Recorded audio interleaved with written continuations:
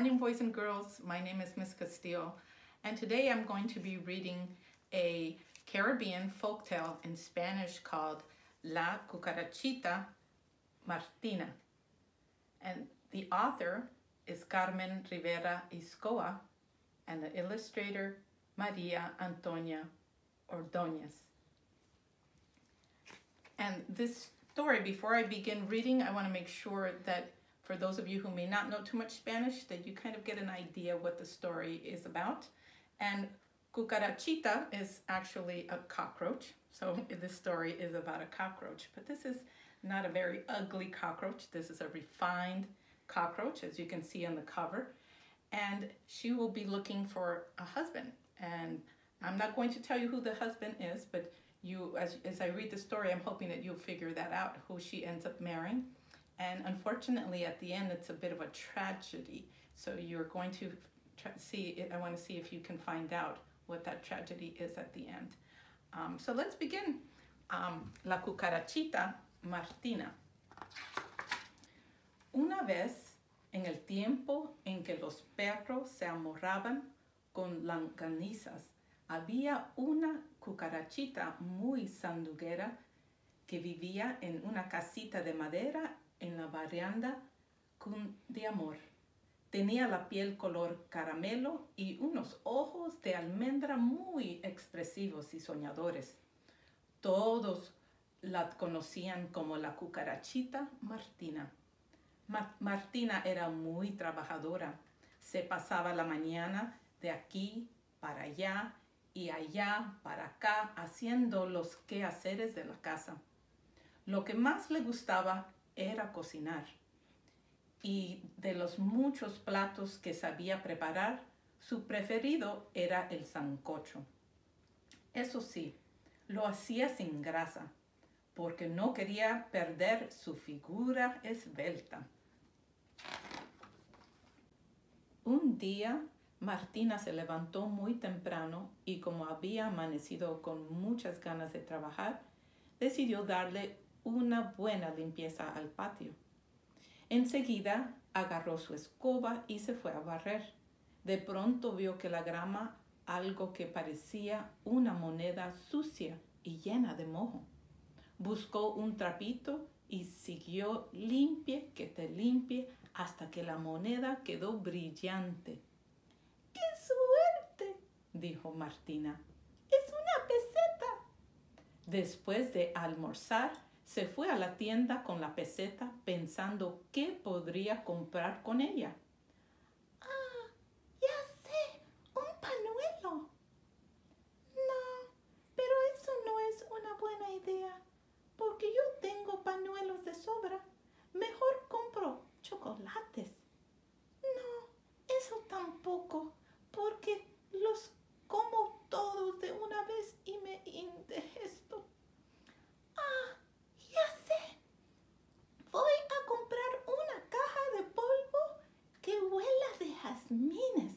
Así estaré bien perfumada cuando mis amigos me visiten y a lo mejor consigo un novio.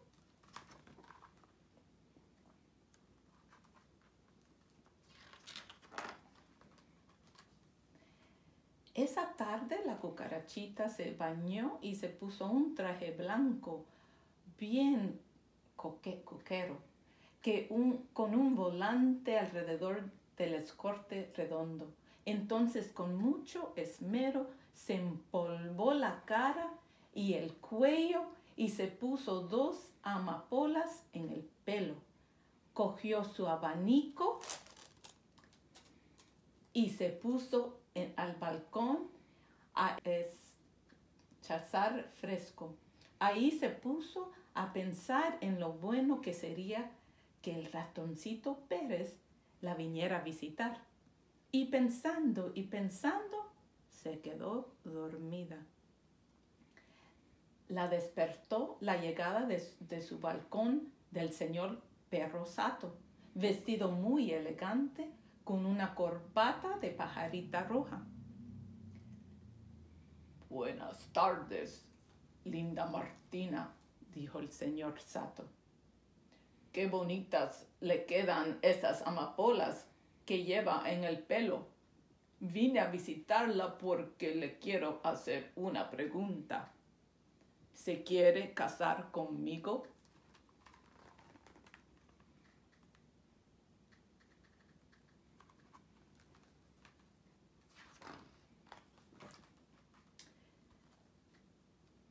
Eso tengo que pensarlo, señor Sato. le contestó la cucarachita. Pero, pero mientras tanto, dígame, ¿cómo me hablará usted cuando estemos casados? Con mucho gusto, mi querida Martina, yo le diré, how, how, how, me gustas más que el pegao.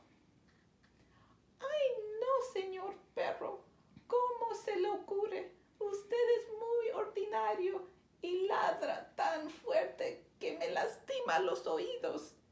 No, mejor no ca- caso con usted. Y el señor perro se despidió y se fue con el rabo entre las patas.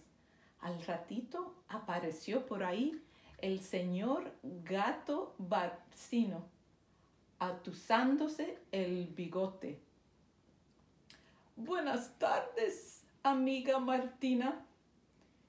¿Qué perfume tan agradable tiene usted hoy? Pero dígame, ¿quiere casarse conmigo? Ay, señor gato barcino, déjeme pensarlo, porque esa pregunta es muy difícil. Primero, dígame, ¿cómo me hablará usted después que estemos casados? Ay, me pide algo muy difícil. Le diré, Miau, miau, miau. Soy dulce como melao. Ay, usted es muy engreído, señor gato barcino. Además, los gatos tienen fama de que se comen a los pobres ratoncitos. Váyase, no venga más por aquí. el señor gato le ardían las orejas de la vergüenza y decidió ir a la plaza a comerse una piragua para refrescarse. Iba tan azorado que por poco choca con el gallo inglés, que venía muy contento, aleteando y cantando en dirección contraria. Cuando llegó frente a la cucarachita, gallo inglés, con la cresta muy erguida, le dijo así.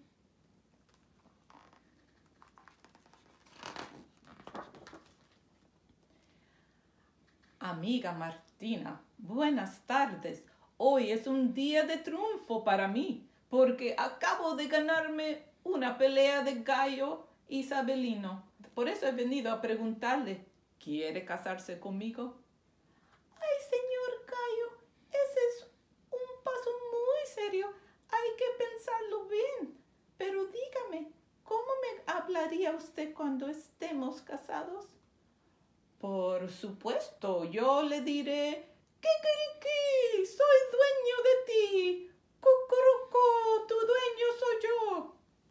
ay, por Dios, señor Gallo, ¿No ve que ese escándalo me pone nerviosa?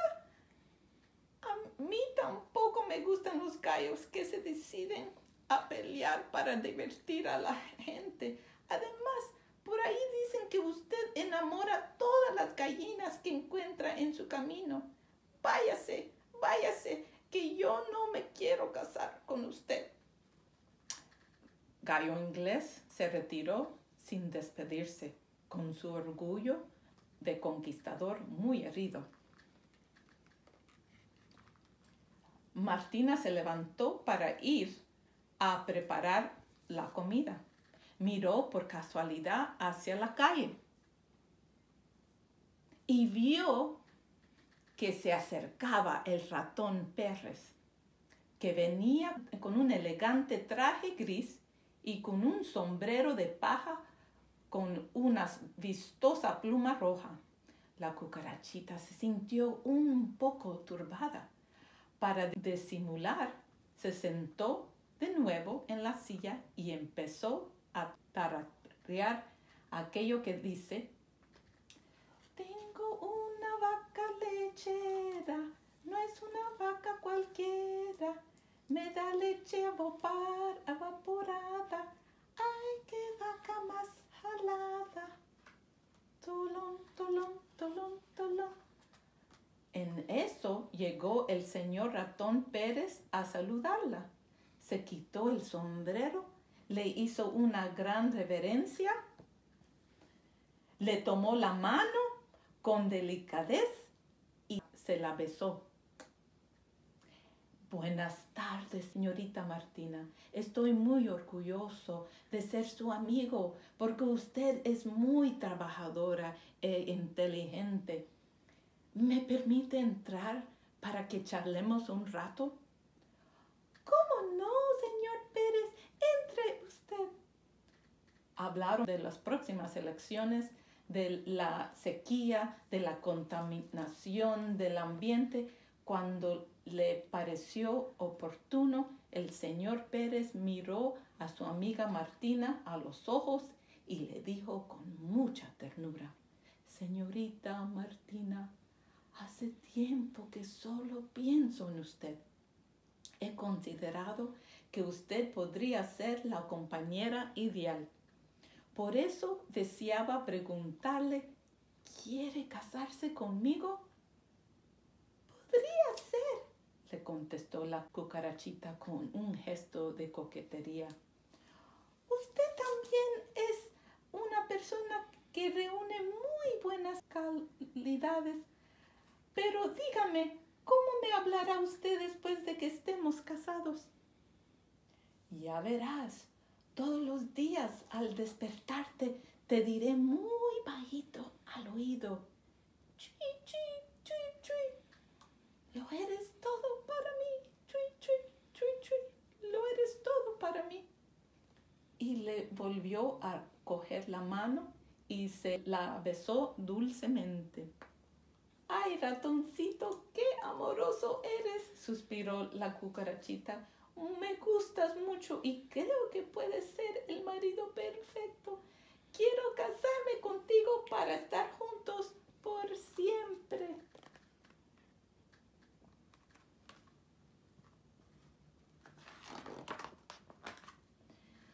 A los pocos días se casaron, celebraron una gran boda y fueron muy felices.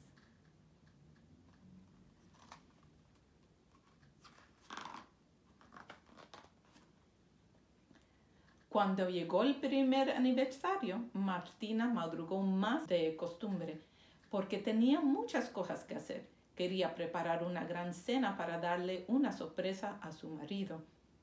Limpió la casa cuarto por cuarto hasta que la dejó reluciente.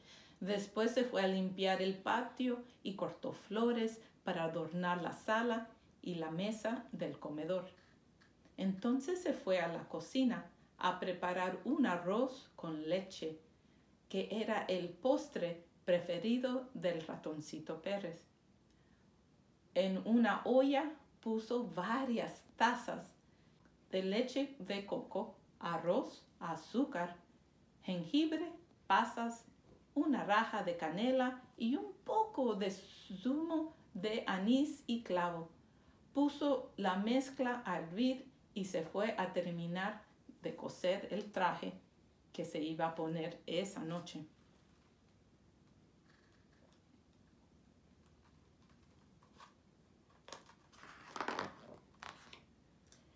Al poco rato llegó el ratoncito Pérez y aspiró los deliciosos olores que despedía el arroz con dulce. Siguió el olor hasta la cocina y cuando vio la olla se puso ansioso por probar aquella delicia. Tuvo que subirse a un taburete para poder alcanzarla. Cuando se asomó, vio una raja de canela que sobresalía y las quiso agarrar para usarla como cuchara y sacar una pruebita. La aló con la patita, pero no la pudo sacar. Una vez más y la tendré, se dijo. Entonces le dio un tirón más fuerte, pero perdió el balance y cayó dentro la olla. Cuando Martina regresó a menear el arroz con dulce, vio que su marido se había caído dentro de la olla y empezó a llorar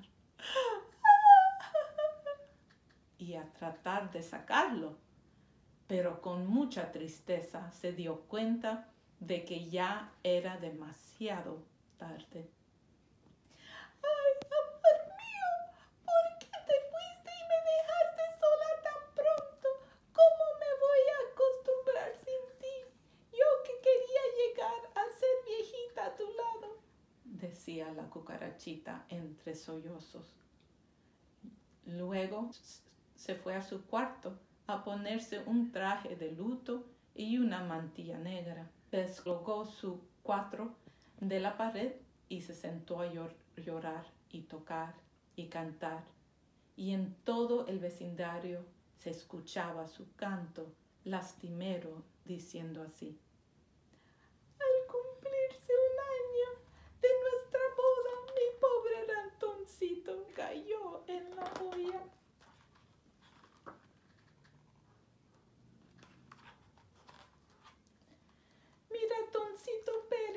Cayó en la olla y está, esta cucarachita lo canta y lo llora, lo canta y lo llora, lo canta y lo llora.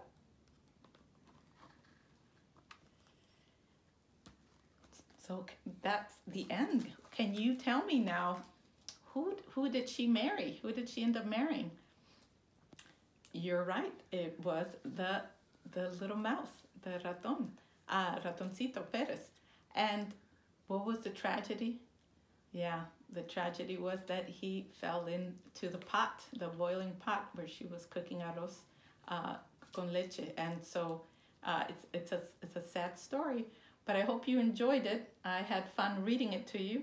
Um, I hope you have a, great rest of the day, and and be careful out there. And take care.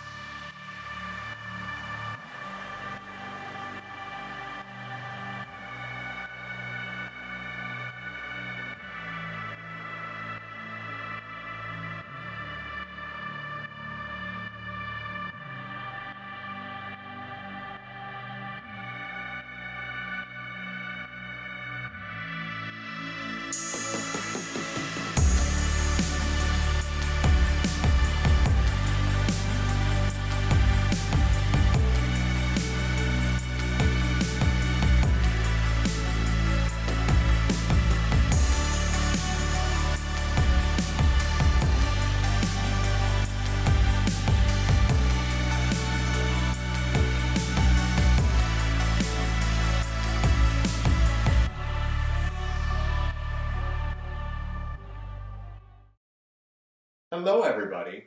My name is Jason Levy, and I'm the music teacher from Campus International School. Today, the song that I'm going to share with you takes place in Europe, in the country of Austria. I hope everybody packed all your cold weather gear because you're definitely going to need your hat and your coat while we're learning this song all about the cold, snowy mountains in Austria. So come on with me while I teach you this new song.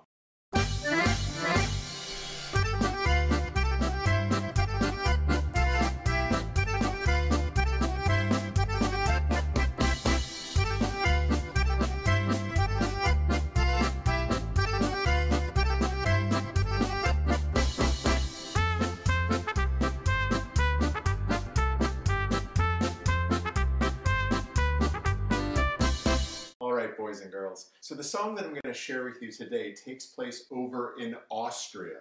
Now this is not Australia. This is not with koalas and kangaroos in the Sydney Opera House. This is over in Europe in Austria where they have pretzels and bratwurst and everybody wears lederhosen. So just listen the first time through and hopefully you'll be able to pick up some of it. Oh, an Austrian went yodeling on a mountain so high when along came an avalanche interrupting his cry. Yo-lady, yodelay-hee-hee, oh yodelay-hee-hoo, shh, shh. Yodelay-hee-hee, oh yodelay-hee-hoo, shh, shh. Yodelay-hee-hee, oh yodelay-hee-hoo, shh, shh. Yodelay-hee-hee, olay. So I'm going to sing a line first, and then you're going to echo after me. Oh, an Austrian went yodeling on a mountain so high. Oh, an Austrian went yodeling on a mountain so high. When along came an avalanche interrupting his cry.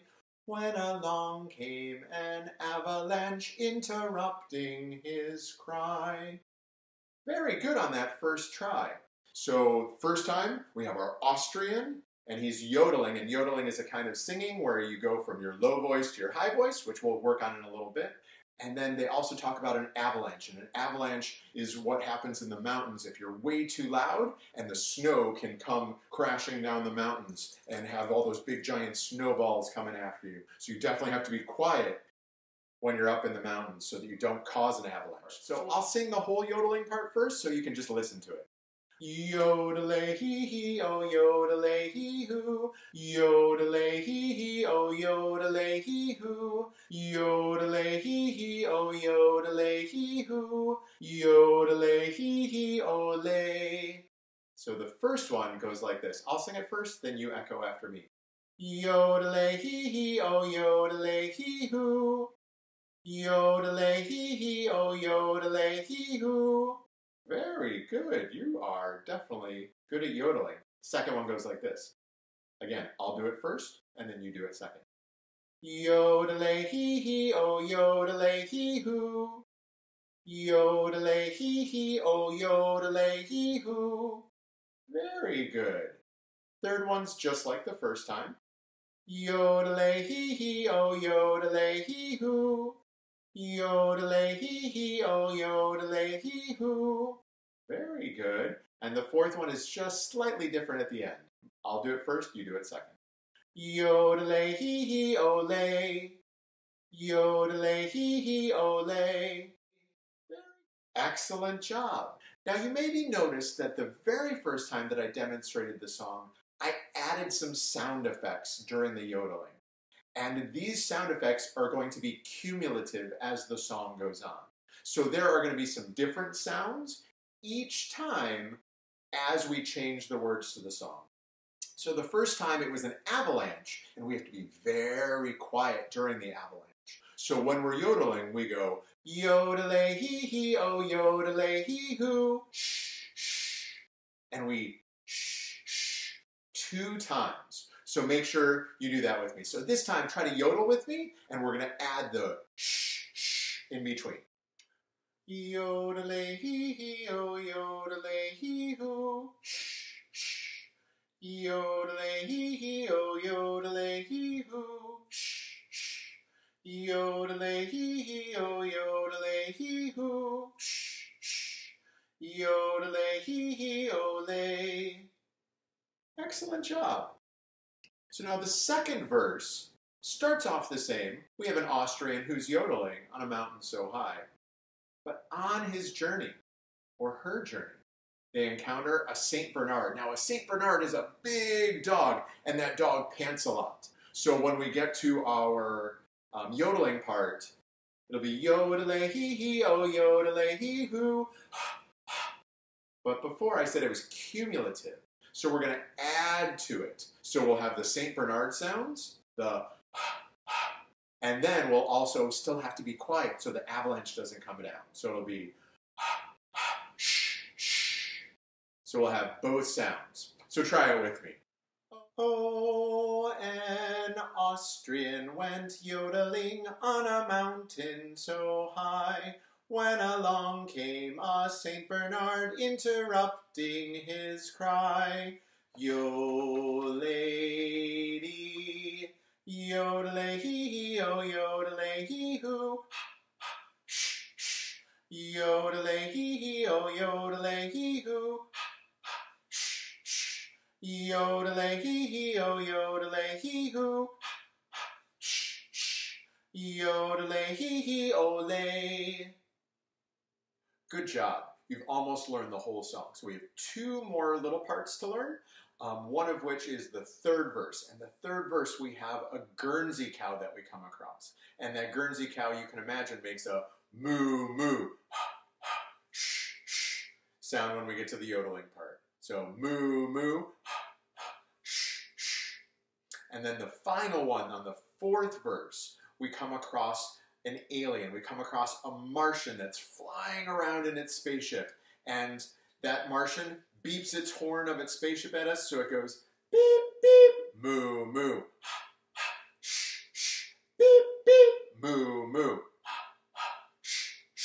So be ready for that when we do the whole song, all four verses together.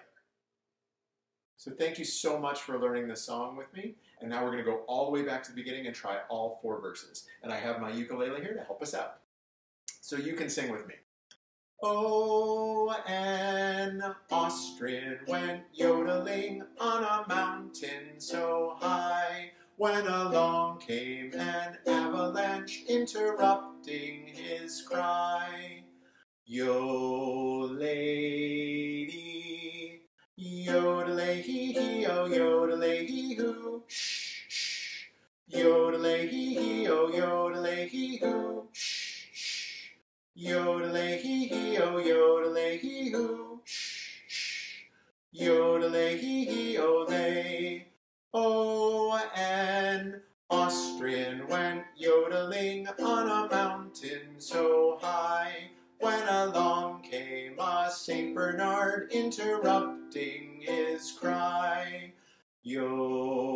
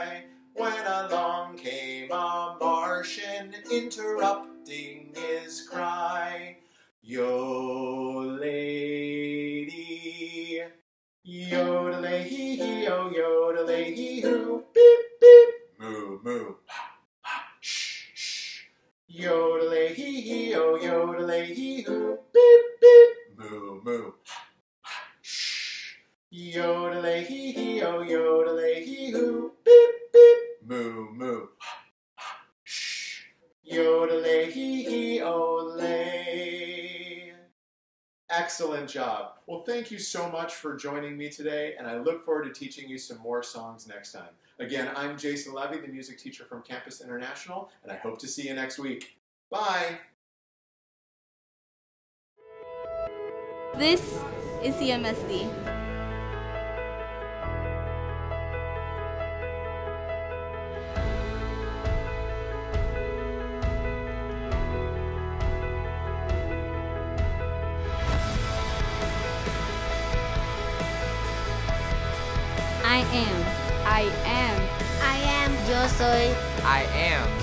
Public schools.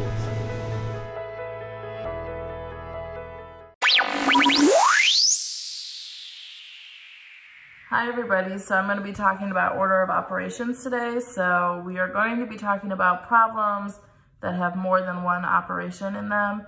and how we are going to solve them. So typically we are used to seeing problems with just one operation, whether it's multiplication, division, addition, or subtraction. But today we're gonna be talking about if there were problems that have more than one. And if the problem has more than one operation, you are going to be using the order of operations to help you solve. So when you hear order of operations, you think you should think of PEMDAS. So that's P-E-M-D-A-S. So when you are solving a problem, you're always going to start with the P and then the E, M, D, A, S. So I'm going to tell you what these all stand for in a second, but to help us remember the order, you can use please excuse my dear Aunt Sally, which sounds crazy, I know, but it's actually super helpful. I learned this when I was in fifth grade, um, and I have remembered it ever since. So please excuse my dear Aunt Sally, just like when we learned our planets and we learned um, the letters, and then it helped us draw them out. So the P stands for parentheses, E is exponents, M is multiplication, D is division, A is addition, and S is subtraction. So when you have a problem, if it has parentheses in it, that is the first thing you'll solve what's inside the parentheses first, always. That is always the first thing. Now, if there are no parentheses, then you're gonna start with the exponents. So if you see 2 to the second power, and I'll show you examples of these in a second. Um, you'll start with that only if there are no parentheses. Then you'll go to multiplication, division, addition, and subtraction. Okay, so I drew out some practice problems, and I have my, please excuse my dear Aunt Sally written over here, or PEMDAS. So number one, we do have parentheses. Now these are parentheses. So 3 plus 1 is inside of the parentheses. So since P is first, parentheses is first, we're going to do what's inside the parentheses. So 3 plus 1 is 4. Now we're going to bring everything else down. 4 times 4, and then we could just solve that like regular. 4 times 4, 16. Now number 2 also has parentheses. 10 minus 5 is inside the parentheses and then we actually have an exponent, 3 to the second power. But we always start with our p. So we're going to start with 10 minus 5, which is 5. And we bring this down, 3 squared minus 5. Now, obviously, we can't leave it 3 squared. We have to solve out our exponent. 3 to the third, to the, oops, 3 to the second power is 3 times 3, which equals 9 and then you'll bring down minus 5, which equals 4. Remember, when you have an exponent, the 2, the exponent, tells you how many of the base number you are multiplying together. So 3 to the second power, we did 3 times 3. There are two 3's there. Now in our last one, we have no parentheses, no exponents. So we're going to start with m multiplication. So first you will do 3 times 4, which is 12. Bring down the plus 1. And then you could do 12 plus 1, which is 13. Now we have 4 divided by 2 times 3. Now, although I told you all to go in order, so please excuse my dear Aunt Sally, so technically we would do multiplication first, 2 times 3, when you only have multiplication and division in one line and addition and subtraction in one line, you're going to go from left to right. So let me draw that here. So in this number one, we only have multiplication and division. So we are actually going to go from left to right instead of starting with our multiplication. That is only when, only when, say it with me, only when we only have multiplication and division in one line. And when we only have, only have addition and subtraction in one line. Not multiplication and addition, only multiplication and division, addition and subtraction. So we're gonna go from left to right. So first we would start all the way over to the left. Four divided by two is two. Drop down times three. Four times three is, oh, I'm sorry, two times three is six. And again, you're gonna go from left to right. Five plus four is nine. Nine minus two plus one, you'll bring it all down. Again, left from right. Nine minus two is seven. Seven plus one is eight. Only when you have multiplication and division in one line, addition and subtraction in one line. So that is the end of the video. I just want to thank you for watching. And I also, if you watch the whole thing, if you got all the way to the end and you listen to me talk the whole time, I want you to message me the secret word. And the secret word is essential. Focus is essential.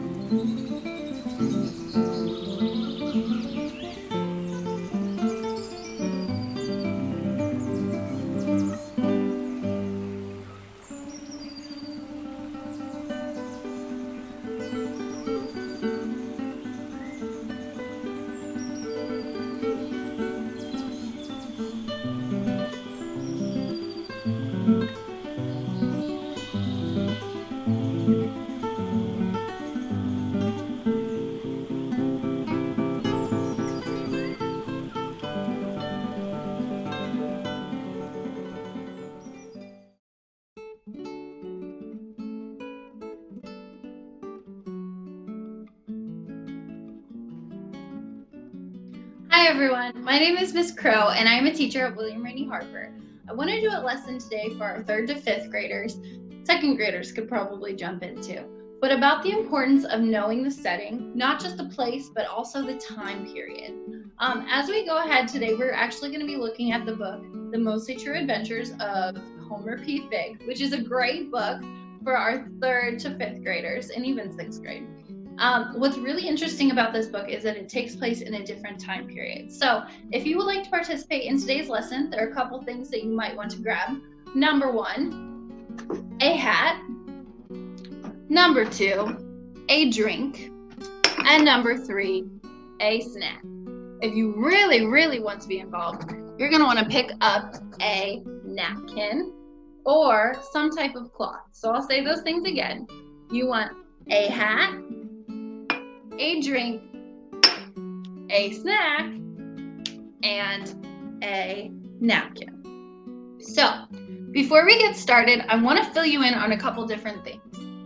Um, as you're going to grab those items in your house, I will just give you some random information that you probably want to know. Um, one thing about the book of that we've been reading in class is that we had to understand the history, and we have a lot of people who have been working really hard to understand the history of the Civil War. Now, the Civil War happened in the 1860s, so there was a lot of differences. For example, one of the differences was that the bathroom was actually located outside.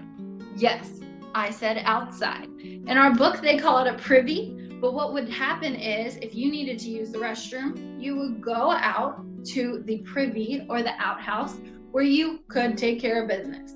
Um, my students were very shocked by that. Yes. Also, roads at the time were not made of cement or pavement like we see. No, they were usually made of dirt. And so, if you think about it, when it rains on a dirt road, it's going to be kind of messy.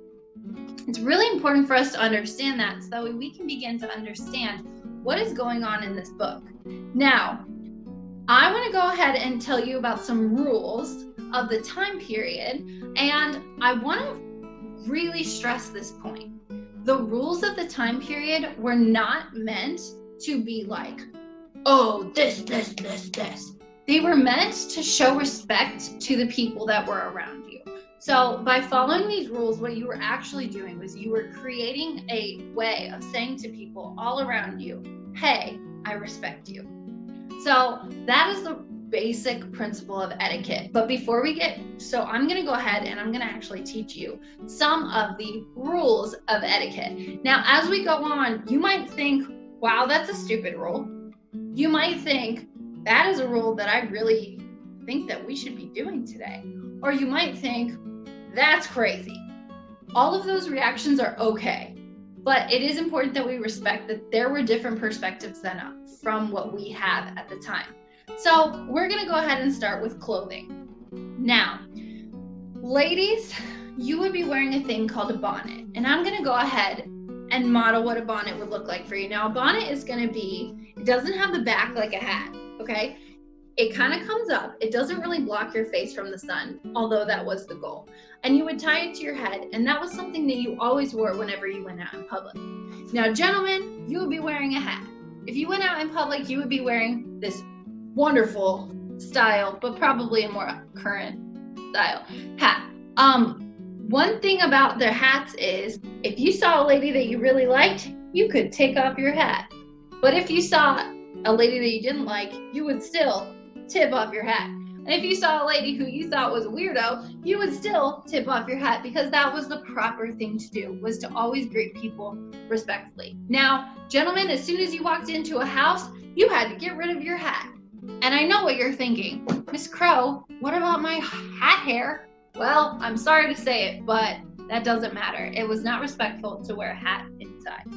Now, your dress, what you wore, whether you were a girl or a boy, what you wore had to go a, a couple of rules with that. Okay. Number one, you dressed according to how much money you had. If you have a lot of money, you would be wearing fancier clothes. But if you did not have a lot of money, you would wear more plain and simple things. Your age. Okay. So, for example, babies had to always wear white. Whether they were boy or girl, they had to wear solid white because that was what was proper. So, their age determined the color of clothing that they wore. Another thing is your position in society. So a man who is a house like who like works out in the farm or is a farmer is going to have a different wardrobe than somebody who works in finance. And so the three things that told you what to wear were your money, your age, and your position in society. Hmm. Now, a gentleman, we've already gone over the tipping your hat. But ladies, there was a special rule for you. You see, ladies, you had to wear gloves, and your gloves had to be white. The whitest of white. They could not be any other color. Your gloves had to be in good shape. In fact, as I was reading some old Victorian novels, um, like etiquette books that were nonfiction, um, they said that even a yellowed glove was unacceptable. So you want to make sure that your gloves were the whitest of white.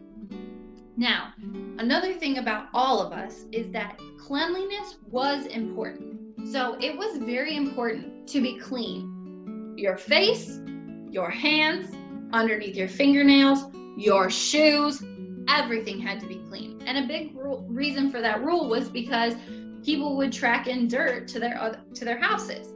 So being clean was very very important at that time.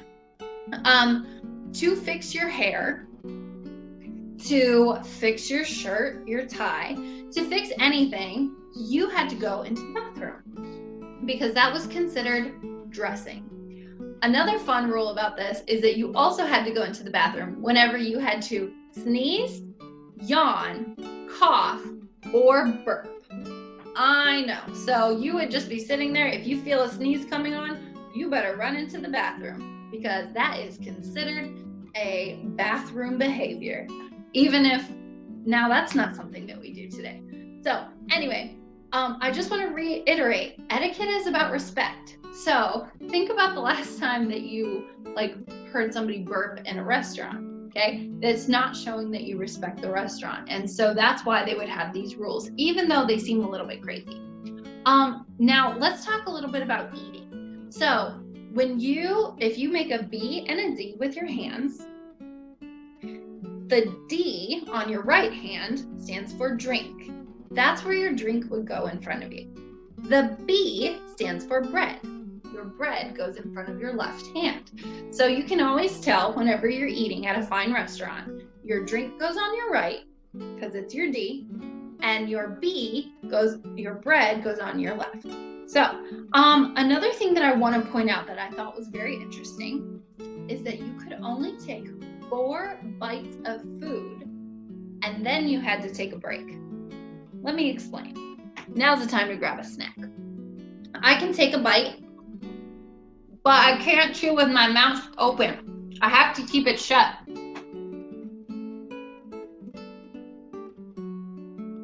What happens when I keep my mouth shut and I'm eating? I can't talk, right?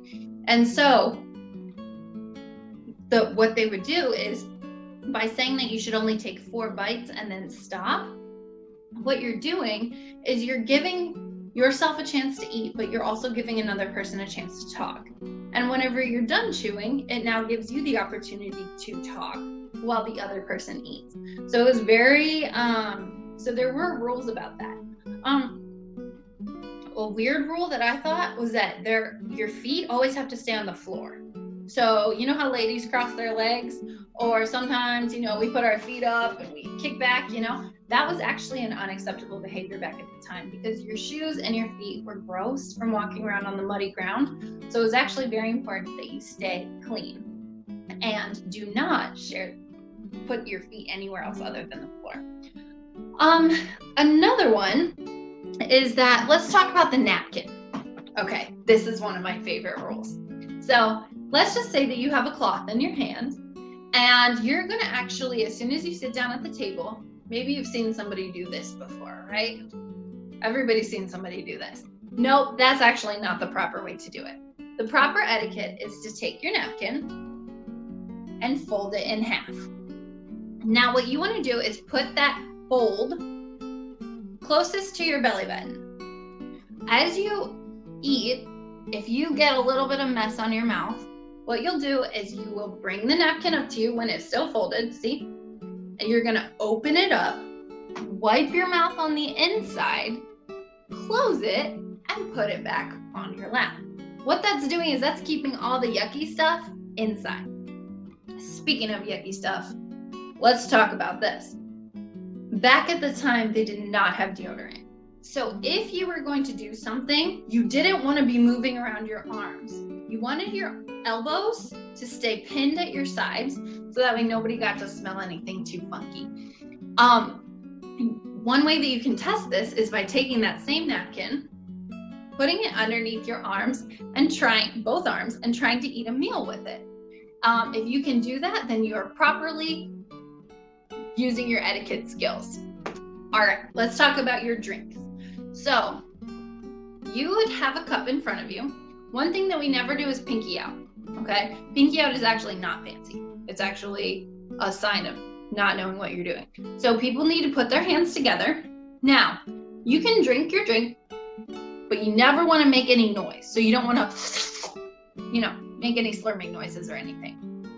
What you want to do is you want to put your drink to your lips. You look at your drink, not at the person. Okay? you look at your drink and you drink it.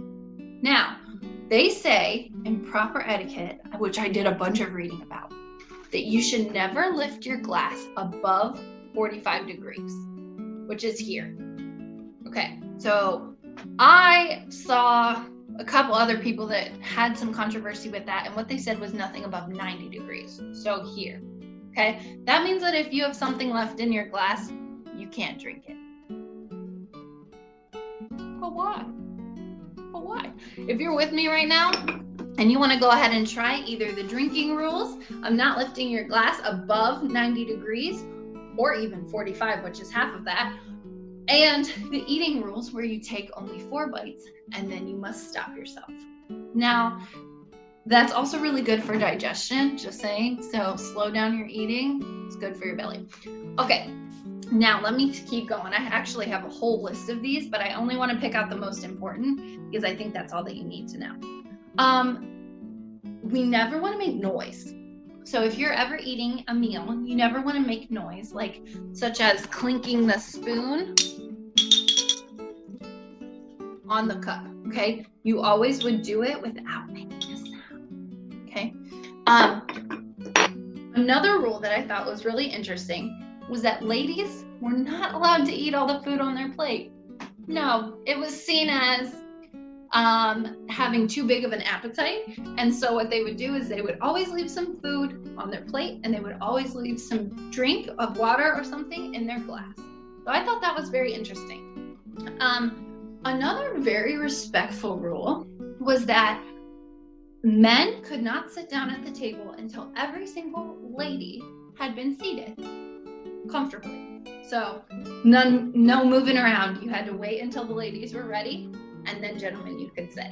um, the final rule that i thought was really interesting was about dating can we talk about dating so here was the rules right girls and boys could not date until the girl's dad said she was okay to start dating okay now here's where things get even crazier girls and boys did not act like they do in the movies. They would not kiss, they would not hold hands, they would not hug or anything like that. Because what was really important at that time was being um was was keeping that stuff for later on. So what people would do is they would um, if a boy was interested in a girl, he could offer to carry her groceries from the grocery store um, and walk with her home. Um, if you ever did think that you were interested in a girl, you would actually have to have someone else with you to make sure that nothing inappropriate was going on. Um, they weren't holding hands. That was considered inappropriate. They weren't kissing. That was considered inappropriate. In fact, one of the things that I read showed that it was very shocking if a lady extends her hand with her glove on, okay, if she extends her hand, she is really serious about you. She is letting you kiss the outside of her glove. Like, that is a big deal. And so I just want to point out things change throughout history, and these people, they may have done some weird things we as a culture may have done some weird things in the past, but all of it was for the purpose of showing respect. And so today we're going to look really quickly at an article um, from a book that I've read recently. It's called The Mostly True Adventures of Homer P. Figg. I brought that up in the beginning. And what I want you to think about is this How does knowing the history of the time period help you to understand what you're reading? How does having that background knowledge actually help you? Because it really helped me. I'm not going to lie. So start looking for some of those things that I just talked about. You may see them, you will see them in this text. So I'm going to go ahead and share my screen with you guys so that way you can see it. And let's go ahead and share. We're going to go right here and I'm going to go ahead and present this to you. So hopefully you can see it.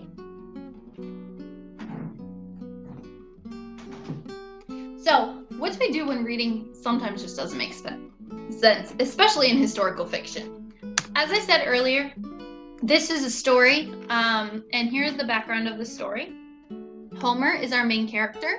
He will be the one who's we're seeing everything through his eyes. This is a first person point of view. Um, both of his parents died, so he lives with his brother. One day, his evil uncle sells his brother to the military to fight in the Civil War. This illegal action sets Homer on a journey to find his brother. Through his many adventures, Homer does hit a stroke of luck. An old Quaker man gives Homer the money to get his brother back, and a guardian named Mr. Willow to help him along the journey. We're going to go ahead and read an excerpt from this passage, and I'm actually going to take myself away from here. It says, When a fast carriage comes through, rattling over the stones, we have to step quickly to the side or risk getting run down. I want you to think about how does knowing about dirt roads and the time period actually help you to picture this. That's how we happen to make the acquaintance of the beautiful Kate Nibley and her brother. In her rush to avoid the carriage and keep her skirts clear of the, the filthy street, remember being clean was really important? Miss Nibley somehow bumps into Mr. Willow and ends up sprawled in his long, skinny arms. Dear me, he exclaims, finding her there. Oh, oh my! Thank you, kind sir, she says, fluttering a soft pair of gloves at his twitching nose. You have saved me from ruining my dress. Sister, are you okay? Have you been injured? That's her brother, Frank. He looks like a prosperous gentleman. Have you thanked this brave gentleman? Yes, brother, she says. I let him kiss my gloves. Mr. Willow's face gets red as a ripe tomato, but he seems very pleased with himself. Kissed her gloves, did you? Why, that's basically a proposal of marriage. And who is this? Kate says, flicking her gloves on my head. Remember, my, it's from Homer's perspective. Your servant boy, I can't say he's doing much for you. Something about the way she flicks her gloves, something about that very cool look in her eyes just gets my goat. So I snatch the gloves from her hand and I drop them in the gutter. Miss Nibley stares at me in disbelief. And I'm going to stop that. And the passage actually continues to go on, but I want us to think about how does knowing these rules of etiquette and the rules of society at the time actually help us to understand this book? Some things that I noticed were this her gloves, dropping them in the gutter. I didn't realize how important it was to have pristine and white gloves until I started doing some research. And that's when I realized our main character just did something really disrespectful. Another thing that I want to point out is as we see Mr. Willow's face gets as ripe as a tomato. Kissed her gloves, did you? Why, that's practically a proposal of marriage. As we talked about, relationships between boys and girls were much different then. So, by Mr. Willow kissing her glove, he was really doing something pretty scandalous and something that he should have never done to a stranger. And it was very shocking that she let him do that. Um, I just want to take a second and say thank you so much for joining us on this reading class. If I can remind you to do two things, it would be number one, um, keep reading. You guys are doing great. Um, but also, when you're confused, ask the questions that you need to ask. What are you not understanding? And if you're reading historical fiction, you might have to do some research about the time period. What you're going to find are some really cool facts, just like we did with our etiquette, that will help us to learn even more about the time period and history. So, um, before I say goodbye, shout out to my fourth grade class. Hello, everyone. And uh, I hope that you guys all have a great day. Thank you so much.